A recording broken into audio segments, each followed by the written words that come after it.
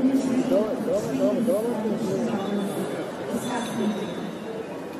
because I think as urban dwellers, we sometimes fail to recognize or aren't grateful enough to this incredible being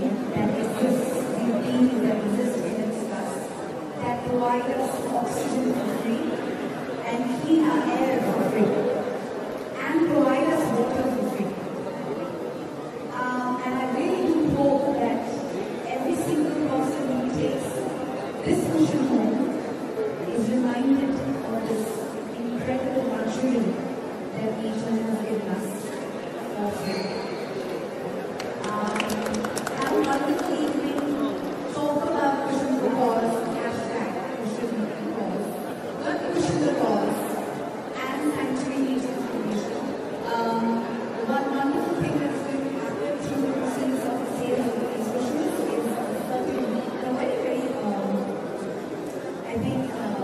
Jesus conhece.